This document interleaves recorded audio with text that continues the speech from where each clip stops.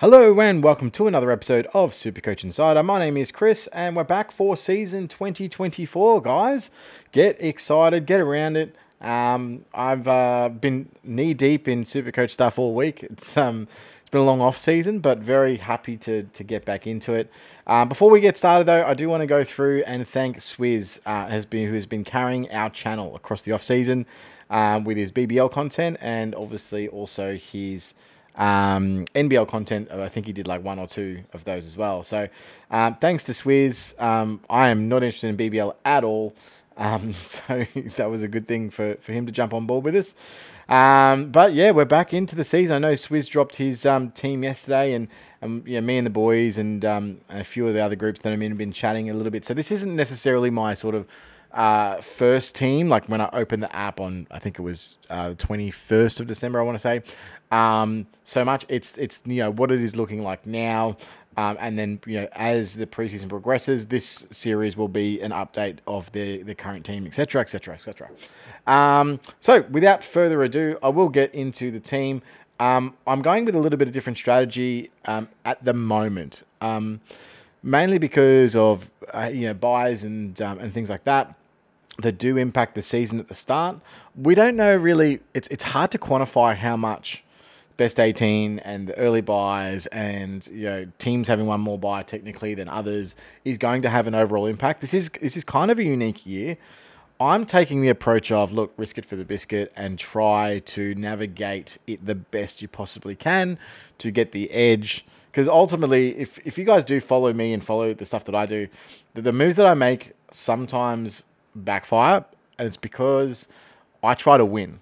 So I make moves to try and win that end up not necessarily being the best overall moves, unfortunately. So when I when I do my teams and, and what I'm trying to do, I'm trying to get a little bit of an edge here or there, maybe one or two percent or five percent here will give me a long term edge, and hopefully get lucky with injuries, and, then I don't you know burn on trades, which is what I've done for pretty much the last three years. But I'm okay with it. Um, I, I play hard, I play fast, and if I burn out, then so be it. But one year it's going to happen where that's going to all click, and you know by round 18 I'm out of trades, but I managed to survive to the end. That's the goal. So one day I'll get there.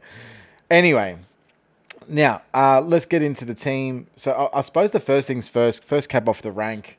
Um, I until last week I had Daicos penciled in, absolutely guaranteed. Can't get me off him. Um, and then I really started to look at the fixtures, and it's not great. So in the first five games, obviously, I think it's round zero, they play Sydney. I'm pretty confident they do. Um, oh no, it's a GWS, but they do play Sydney in that first uh, in those first five blocks, and then they also play Hawks. Those are two of his obviously notoriously worst teams to play against because uh, Sydney and Hawks both tag Daicos, and they've been having effective tags on him. So he has the potential of that now what we know about Daicos is he could shrug that off completely and he could go 130, like 100%. But playing a little bit of devil's advocate here, I think it's more likely than than likely that he drops maybe 50k in the first five six weeks. You got to also remember they also have a round zero, so so their uh, Daicos's price will change in round two. So let's say he has a couple of poor games and starts to drop in price, he'll drop in price. You know, round two, round three, round four, and round five. So four potential price drops obviously depending on what he's scoring like, um, before uh, his buy. So I've gone with a little bit of different tact. I think the one that I'm definitely starting at uh, D1 is James Sicily. Part of the reason they have the round zero buy, which means that the only buy that they actually have is the last buy um, of the of the normal buy areas, so round 15. So he's probably the best premium, best high end premium for that. Um, I at this stage. Yeah, I was toying with with even a, a Luke Ryan or something like that, but I just I, look he's burnt me after choosing him two years ago and then him coming out last year and going 110. I just I don't know if I can do that. It's kind of it, it, stings, but Port and uh, Freo do have the best buy options because they're in the a standalone buy on their own, and they also have the round zero. So therefore, they're the most. They cover you through the main buys, and they don't have issues during the regular uh, the the start of the season. So, um, thought about Luke Ryan, thought about Dan Houston. ultimately, I think uh, James Sicily is the one to go, and then those guys are guys you can upgrade to. Um, always found, even though Sicily obviously can throw the odd 60 game here or there and drop in price, most of the time during the season, he's really hard to get, and I hate not having him and watching him go like 140, 150, 170. I think he went 174 or something last year. I, I can't stand it, so I'm not interested in doing that. Um, starting with James Sicily, I think, is the right move this year. And I think the Hawks do get marginally better. How much better? I'm not sure. Does that increase his average? I don't know. What we know about his average last year was that that was his injury average from the year before, or injury free average, I should say. So he's had basically a two year average of 114. That's pretty good. And even at his price, I'm, I'm happy to lock that down with a great buy. Um, from here is where it starts to get a little bit interesting. So part of the reason for this is buy strategy. Part of the reason for this is a role change, and that's I've gone straight to Hayden Young here at D2 at the moment. Um, so 525k, he obviously yeah increased his average up to 95 last year. It's sort of a mini breakout, I guess. Um, I think he was 90 or 89 or something like that, close to high 80s, early 90s the year before. So uh, yeah, a little bit on that. However, He's also now um, floating into midfield, and so it's already been talked about in preseason that he will be playing in midfield as opposed to playing behind the ball, which is his traditional role. Um, so there's a potential there that he's got a point, another points bump in him. How much that is, not sure at this stage, and the likelihood is he probably will play the defensive midfielder. He'll probably play defensive side of the ball, at least while he rotates through. Um, how much it, you know, those are aren't traditionally amazing, you know, like premium super coach numbers, as in like you know one ten plus.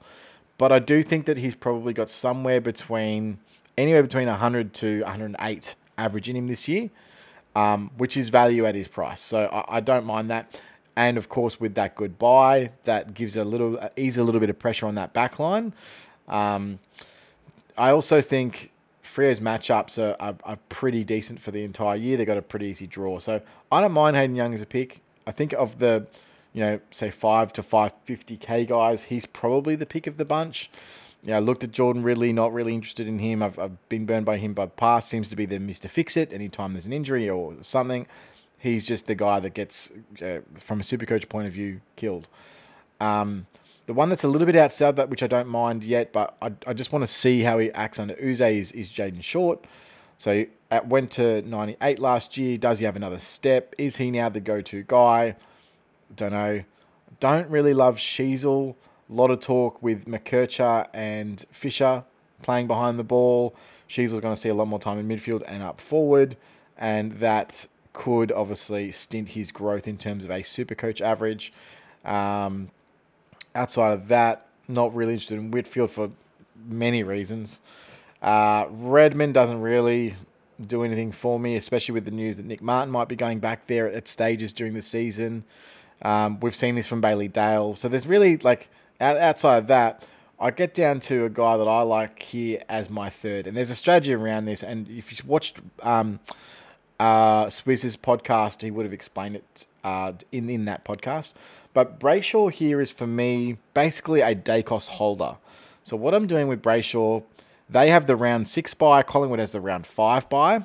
So the idea is carry Brayshaw through to round five and then trade him directly to Nick Daicos. Now, hopefully, there's a parity there where it's only a little bit of extra cash to go from Brayshaw to um, to Daicos. It would be great if over those first five rounds, Brayshaw averaged the same as Daicos or matched him for average um, that would be a huge win because essentially I'd like to start with Daicos instead, but I just think that it's a, a, a, fiscal benefit and also a points benefit to go this way. Um, so look, Brayshaw, if he gets that mid roll, so we've got um, Jordon and Harmes out of the rotation there. Uh, Clayton Oliver, obviously, we don't really know what's happening with him. I assume he will be suiting up round round zero, round one. Um, so I don't, I don't think that that is a consideration, but I do think that they will probably go in with their three midfielders as Brayshaw, um, the three main mids, I should say, as Brayshaw, Oliver, and Petracca. With obviously, you've got rotations from Rivers, who seems to be getting more and more time in that midfield moving forward. Um, and you'll get guys like Spargo, etc. Um, so, but yeah, Brayshaw as a midfielder just scores points, right? So I'm happy to run that train for five weeks, given his price and value that, that comes with that price, and then flip him. Now, part of this though is that I need to start with a little bit of money in the bank. So I actually do start with about 110k in the bank with this team. Um, so for those playing at home, you can add that all up. I have considered going um, Himmelberg in this spot and freeing up a little bit more cash just because of his first couple of rounds. But then I have to trade him in round three, and that doesn't really work. If I was to do that, I'd have to trade him to say someone like Kitty Coleman, who may or may not be amazing at 400k, depending on what Kitty Coleman we get early in the season. Um, but there, there's definitely an option for that as well. Uh, so next year, we start to get into the rookie price players, of course. Um, I think everyone will start with him, but Zac Williams has to be in your team. Unfortunately, it, the price is just too good to pass up for a guy that can easily average 80 plus. Um, 216k, even as injury riddled as he is, I think he will be arguably probably the most owned player in Supercoach this year, maybe only second to Harley Reid. So, uh, and that's saying something. Um, now, there are quite a lot of, there is quite a lot of value all across the park in defence. But for me right now, obviously, we don't know too much about rookie scoring. I think Josh Gibcus presents the easiest play on field. You know, we've seen him before um, average well enough for a rookie. I think rookie season he was you know hitting 50s and 60s regularly. I think he spiked the occasional 80. Um, they're going to need. He's obviously been out injured for a season, and he's come back, and his price has dropped dramatically. He's actually cheaper now than what he was, I think, in his rookie season. So, um, something to be aware of there. Um, there are others you could put in this spot. I think Dan Curtin's also one that I, am monitoring at his price, um, and there are quite a few others. Um, the, I'm just gone with right now. Obviously, most of them are placeholders, but say Nick Coffield, for example, if he gets a run there, again, a guy that we know can average about 80 or somewhere between 70 and 80 if he gets the right role. Um, and it's definitely yeah, a possibility there at the doggies. And then again, some more mature age guys. So again, we've seen Marty Hore. If he gets a role at um, at Melbourne, he can, we know he can score points. The one that I think is pretty much a lock for everyone at this point is Toby Pink. Um, rumored to be you know, leading the um, leading the race to secure a fullback position with the buckets McKay out. Um, so I think that's between him and I think it's Nyuon uh, from the from the who was from the Tigers. It's come across, but he is a forward. I think he's forward only at the moment. Um, so pink at the moment uh, fills out my D8. So I've got the the structure here, pretty much the three premiums. Uh, do we call Williams a mid price probably rookie price to be fair, but it is definitely looking to be like a more of a guns and rookies season for sure. Now onto the midfield. So initially, I was hard against um, starting with the highest price players, but there's so much value around that it's kind of hard to just not like unless you really wanted to skimp and get like say 13, 14, like 13 like light, uh, like medium sized premiums or or medium to high, and then or 14 really light premiums. Like you could probably do that, but you'd have to avoid guys like Bont. Um, and so at this stage, I had the money to do it. I'm completely fine fading Bont, but the benefits to Bont are ob- obviously the best buy again. So they have the last buy. So same buy as say Sicily here in the back end. So that's the best buy in terms of covering the other buys. Um, I mean, you don't have to worry about it for quite a, a substantial amount of time. Um, you have a perma captain every single week. So you never have to worry about either having a VC or C option because you always have the Bont. Um, and I don't think I can't see his role diminishing. I can only see it getting better. Um, I, I, can't see him going forward because they have a plethora of forwards. Um, they just lost a mid, so realistically, he stood should still maintain or at least hit a 120 average. Um, and if you look at the mids from last year, that's a 10 point swing. He's 10, 10 point per game better than the next best player. hard to ignore that. So at this stage, he's in. Um, and then they go a bit lighter moving forward. So the next guys, again, this is more buy consideration and output. So I'm going with Butters here at uh, M2. And Butters has been locked in my side pretty much since day one, and I can't get rid of him. I don't think I will. Um, having that great buy, Uh, he's obviously another year older in the system. Rozee, his best mate is captain. Uh, Port on should be on the up again, um, and they will be on the back of Zak Butters. He also played every game last year, so uh, yeah, Butters is now locked, and and of course the X fun factor. Like I love watching Butters play, and I would hate. I absolutely is again one of those players. I hate not having him in your team and watching a port game because I know how good he is, and every time he touches the ball, it's just magical. So, uh, yeah, needed in my life. Um, next one, another buy special um, slash obviously very solid player in Caleb Serong. I personally believe he's the best of the Fremantle mids. Um, you know, when you talk about Brayshaw, Serong, even Fyfe, Erasmus, Johnson, etc., I think he's the leader in that group. There's also talk that Brayshaw could be moved more outside, which might put a bit more reliance on Serong. And what that does is it allows them to use, say, Johnson as that defensive mid, and Serong can just do what he does best. And instead of tagging like he has done in previous years, not so much last year, um, but he can just focus on finding the footy, and he's brilliant at doing that. So um, I like Serong here and in this place um, at M3. Um, moving further down, we move on to uh, this is a bit of a buy play. So one of the uh, one of the GWS mids is going to go huge. I'm banking it on Kelly. So in the first couple of rounds. So you got to think they play North and and and West Coast in the first two rounds. The West Coast, I think, granted, is away and North at home, um, but they have arguably the best round one two fixtures back to back. So having this one uh, GWS player with a plan to flip in in grey in round three to a Carlton or or Brisbane player who just come off their buy.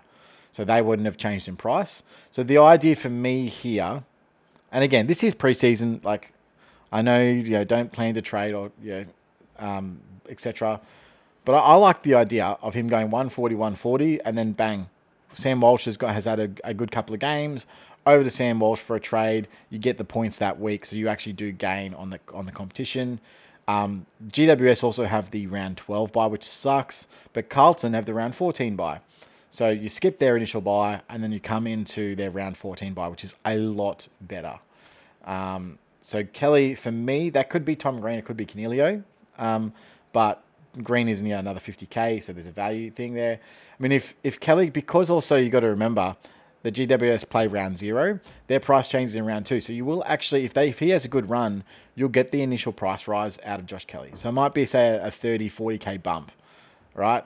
I think Walsh is only like 7k more expensive or something like that. Like it's a really good value selection. Um, but who knows what could happen at that point. But yeah, definitely targeting someone like a Sam Walsh there. Um, or could be a Neale, could be a Dunkley, to be honest. Could be either of those guys. But I think, again, Brisbane have that first buy. So doesn't help in that. It's not the greatest in that sense, but it's all good. Um, now we start to get into some more value options. So I'm going with um, Matt Crouch as my M5.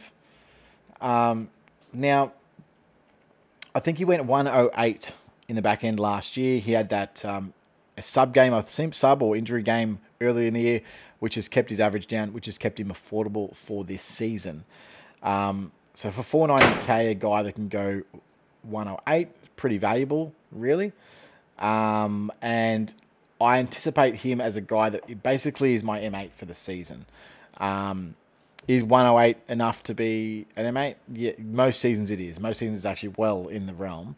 Um, if we have a look on mids last year, so one, two, three, four, five, six, seven, eight, nine. So Luke Davies-Uniacke was 10 at 113. However, there was no, so Dunkley was a forward, take that out. Uh, yeah. So technically it would be Gulden. Gulden would be your 10th at 111. So pretty close. It's not like, you know, smack bang on top top uh, 10 territory. We're talking about, you know, three points and five spots between him and, say, a Cerra at that, at that spot. Um, uh, speaking of Gulden, I do love Gulden as a pick. I'm just not sure about how much upside is there at 111 at 622. Might be someone I upgrade to rather than start with. We'll see how we go. Um, and also they they do have the two buys in the early rounds. Um, okay, so from also again, Adelaide has the last buy, um, so that's good, and so does Karl Amon. So this is a a bit of a niche pick, I guess. Um, 483k comes in at at M6. Now the reason I'm doing this, I, I talked to a, quite a few people who are really hot on him, and there is definitely reasons for, and there's some reasons against. But I'll go through it. But basically, Karl Amon, Amon Amon, I'm not sure how you pronounce his surname. I do apologize. Um, he moved to a distributor role off halfback um, through six games at the end of last year. Had some kickouts. Um, interestingly enough, didn't seem to uh, impede Sicily's scoring at all. He still went up and turned. I think his biggest score of the year was was when Amon was back there as well. Um, and during that time, I think his highest score was 133, and he averaged 106 over those six games. Now, if you do extrapolate that over a season, that puts him as actually a top six to eight defender on last year's numbers. So the the premise here would be you start him at M6 if he got the role. Now, if he's not playing as a, as a distributor off halfback in the preseason, then wipe it wipe it clean. But they the Hawks did mention in their um, review of the year that they did experiment with that towards the back end, and they had a lot of success, and they looked forward for him training with the defenders this year. So whether or not they continue with that, they do have a hundred halfbacks. They've got Seamus Mitchell, they've got Josh Weddle, obviously coming through as well, um, and obviously their existing lineup. So whether or not that holds is another question. But the plan would be start Amon at M6. By round six, when he gets DPP, you're moving back into defense and you open up the midfield to another mid spot and mid upgrade further down the line. That is the plan there. Um, so yeah, we'll see how that works out. At the moment, there's price, there's, there's room in my team for that kind of player. Um, now moving on to the rooks. Um, so just getting into, I think McKercher, obviously, if he's got a half back role, he's going to score quite well. Um, and of course, uh, everyone pretty much has these two. Look, Riley Sanders as well. Again, expensive rooks, but the, the point of this is we don't really know at the moment. The best information we have is that these guys are going to have early impact and they're going to be good scorers. So I've put them there. Worst case scenario, I can always downgrade them if I need to. Um, and then bench wise, I think Jhye Clark, obviously, I think he broke, he had one game and broke his nose as a sub or something on 13. So he's come down in price, which is quite nice. Um, I think he absolutely gets games this year. Whether or not it's round one is another question, but I think he definitely does. Um, I think a no-brainer pick is Jeremy Sharp. Um, one that I missed in the defender section was Chapman. So Chapman and Sharp apparently are competing for a wing spot at the moment. Um, whether or not they both get it, I don't think so. But uh, I think you know Sharp is as, as good a chance of any to, to, as for a rookie at 123k to make a real impact. My only concern would be if he becomes the 23rd player, um, and obviously he's the sub. That sucks. Um, now, in terms of the last spot, I've looked. This could be anyone here. I've gone with um, Harry Demetia. Definitely doesn't start round one, in my opinion, unless there's a few injuries. Um, but he's got a super coach pedigree. So if he does get uh, the right role and some some game time, I think he could go, really well. This is more of a placeholder. I can literally go anyone here, but um, we'll just see how we go for now. Rucks, I just I'm not even going to dilly daddle around this. I will talk a little bit about it, but it's Gawn and Grundy. I, I don't think there's been a year where we've had this much value in the Rucks. But even the premium value is good enough. is is so good. There's no real point, in my opinion, in trying to play games with it.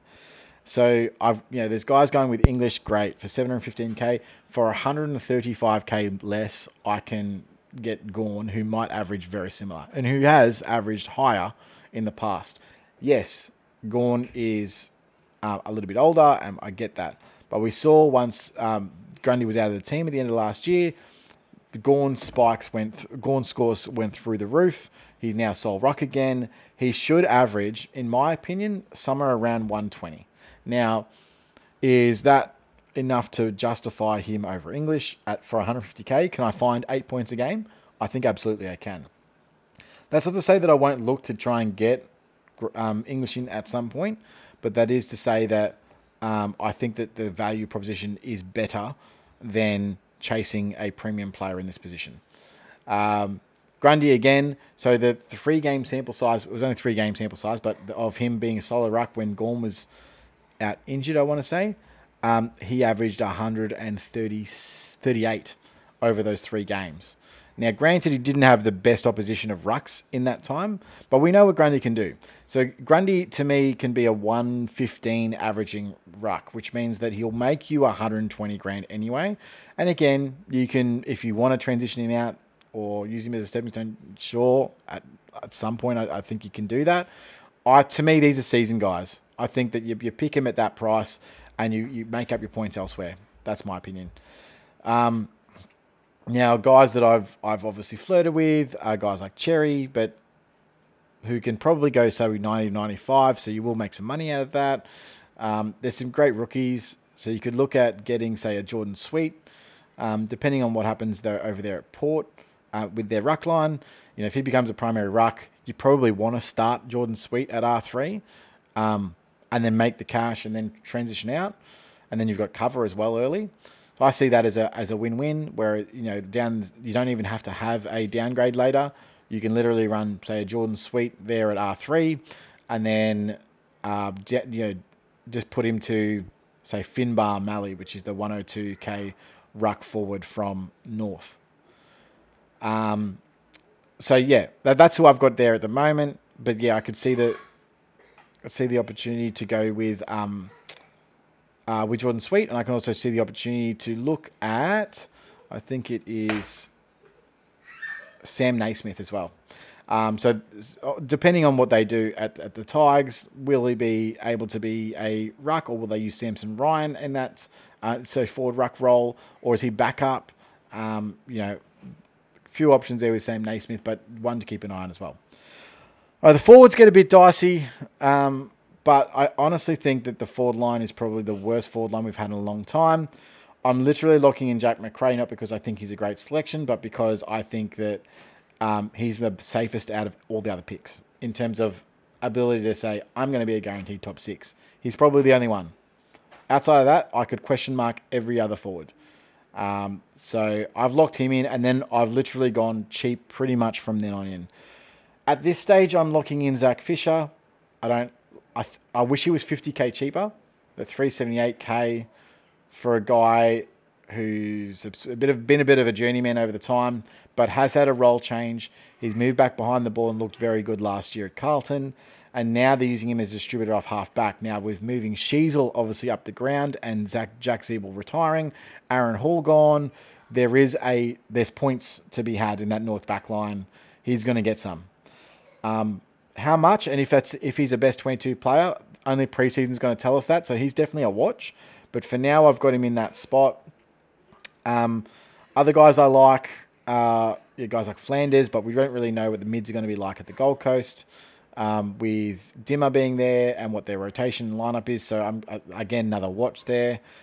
I don't hate Luke Jackson, especially with the news that um, Sean Darcy is actually still not back in training yet because he's recovering from injury again. Um, but Jackson's really only an option if Darcy is injured or he's got some primary games. When he does that, he's absolutely an option.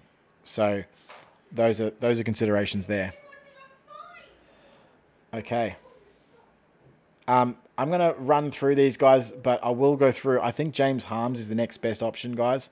Um, I think that he secures up a role in that best 22, plays a rotation player on the wing and half forward flank, and gets a bit of midfield time as well. Um, I think that he's definitely got the ability to average, say, 75 to 85 and make us some decent money in that forward line. The one I don't really like is James Jordon. Um, I can't really see it. Um, I don't think he's going to get inside time. I think his outside time is going to be limited. And if he is on the outside, I probably think he's more um, if they've got Gulden on a wing and they're using him primarily, he's going to be that defensive side winger, which doesn't score well anyway.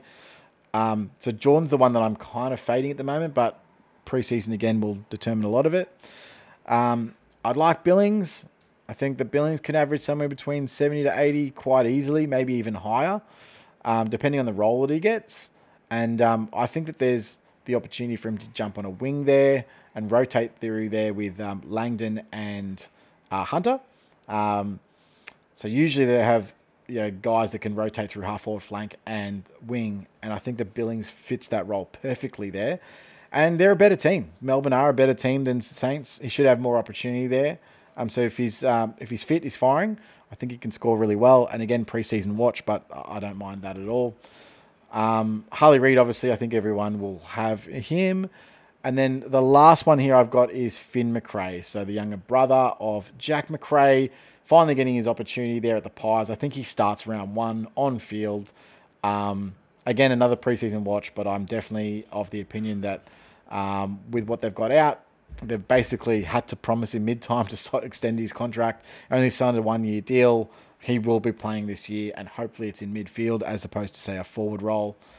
Um, outside of that, you could go a few guys here. I've gone with Sam Darcy. Um, the other one that I don't mind early for, for early scores is Cadman with that uh, North and uh, West Coast matchup.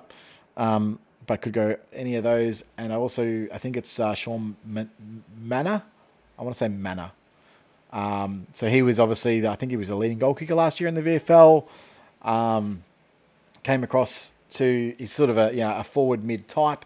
Um, I think he probably starts round one and we'll go from there. So there you have it, guys. That is my team in a nutshell. Um, as I said, worked out to yeah 111,600 left over. Um, I think this works out at 12 premiums, if I'm not mistaken. 1, 2, 3, 4, 5, 6, 7, 8, 9, 10, 11, 12. 12 premiums, Fisher, the expensive Rucks, of course, um, and uh, Zac Williams as well, uh, and 110k in the bank to get Daicos in round six. So there you have it, guys. Let me know what you think in the in the comment section. Um, let me know if you've got any questions about your your team at the moment, and we'll go from there. Other than that, we will see you soon, and I can't wait to hear from you.